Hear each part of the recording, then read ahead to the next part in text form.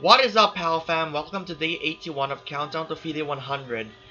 20 years ago, Mag young Magnus Carlsen, yes, he's he's like around 13, 14 years old in 2004, and me, I'm just stuck online. That was when I was Magnus' age in 2004.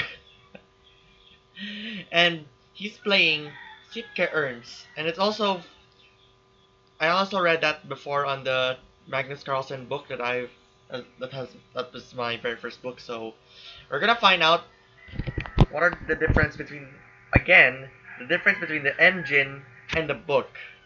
Oh my gosh. Let's see. So Carlsen starts with E4. Um, E4. E4! E4 c6, Caro-Kann, okay, d4, d5, knight c3, d takes, knight takes, bishop f5, knight g3, bishop g6, h4, h6, knight f3, knight d7, h5, bishop h7, bishop d3, bishop takes, queen takes, and e6. But you can continue about that, but we're gonna find out later. And then bishop f4. But it says that bishop d2 was also played since Black's main reaction was considered to be like he's trying to at least this book has good explanation. What? What? Oh. So white can probably go for queenside castle. But in the recent years, just like you just refer for kingside. Oops, that's a bit too much. Right there. So I think it's a good one. Um, there. Just insisted of queenside, a uh, kingside castle in case the bishop is more actively placed at this square. So I think that's a good idea about bishop f4. Knight gf6 and if if he wants the plan of queenside castle, just go black can play queen check and then you can go provoking bishop d2 and then retreat for black. But at the same time, it can also be playable with c3 to develop counterplay with c5 right there. But we're gonna find out if maybe it's gonna like gonna go c5. That would be a counterplay. Okay, moving on. Castles queen side. bishop e7, knight e4, queen a5. Okay, so queen a5 is trying to go for here, but back to knight e4. It was a popular move. He's trying to aim for this castles and then is trying to take that takes. And then g4 in the as in the game sure of the have 95 used to be played? Or wait. This one used to be played the problem was the Belyavsky tile it continued with castles queen e2, queen a5, king king b1, rook a d8, c4, knight takes, d takes, knight d7, bishop d2, um, no, no, no, and then bishop g5. So it's trying to aim to weaken the e5 pawn. Maybe he's gonna go here, but wait. But bishop d2, I think, or rook d2, rook d2, and then bishop. Rook d2 and then bishop g5 okay. It's gonna like probably gonna take it. Yep that was the one. And then h6 and then knight takes. Okay don't need to do continue everything here because it's a bit too much to move on.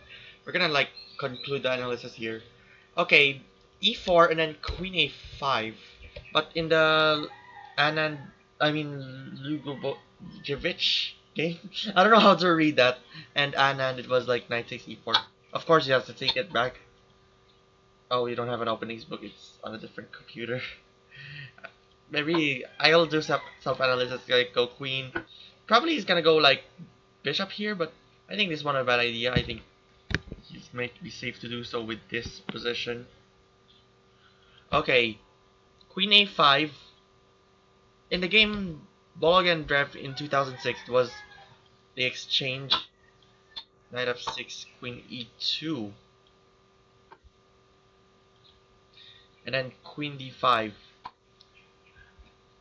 King b1 and Queen e4. Then you have obtained, obtained a roughly equal endgame. Okay. Um King d1, castles, and a knight takes f6 check. It could have been done with g4 according to the book. Knight takes, knight e5, knight d takes e5, d takes a d8, and queen h3. There would be a sharp play. Maybe this knight can only go for here. And I would say like maybe he's gonna go like queen here to try to ready readying up for checkmate. Okay. Knight takes f6, knight takes f6, knight e5, rook a rook a d8, queen e2. There's been a threat of c5. That's why he's go for rook um rook a d8. So I'm just like threaten here. It could have been parried by queen. Oh, queen to b3 instead. But after queen b6, queen takes a takes, a practically equal endgame has been reached. Okay, so c5, according to the engine, the better one is queen b6, queen d3, c5, queen g3, king h8, d takes, bishop takes, bishop e3, bishop takes, and then it's an equal position. Maybe gonna go for this queen takes and tries to go for the exchange right there. But it states that the book said Queen b6 as well. Okay, Queen b6. It was in Anand Bareev, Russia versus rest of the world. Okay, but the threat of Knight g6 is a bad idea because it's carried by Bishop to a3, threatening checkmate. Okay, c5, and then Knight g6 Okay, so it's a good move. And then f takes g6. Okay. And yeah, it could be go for the Bolgon and Anand game. It was yeah. Rook f e8. And then takes takes knight d takes c5. Knight to d5.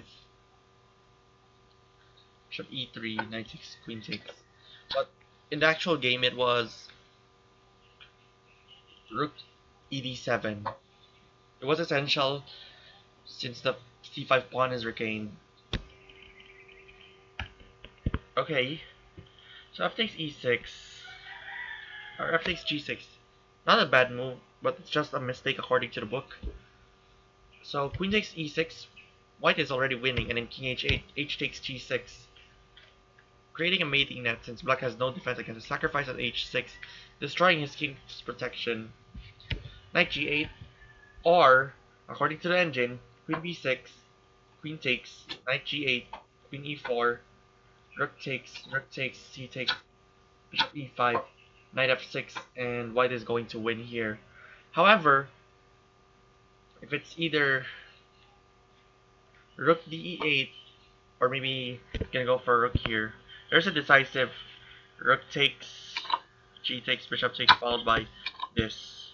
That's also the same on 57. And trying to go for queen check and trying to take those one to attack two of the pieces. And going back, there's bishop takes h6. Okay, sacrificing the bishop. G takes, rook takes, knight takes, queen e7, knight f7, G takes, rook king d3, rook king g7, rook d3, and then rook d6. So, may could have it could have been avoided by queen b6 and then rook g3, queen g6, takes, takes. But the same endgame, after d5, it's already hopeless. It's already winning for white. Look at that. This is the problem. Okay.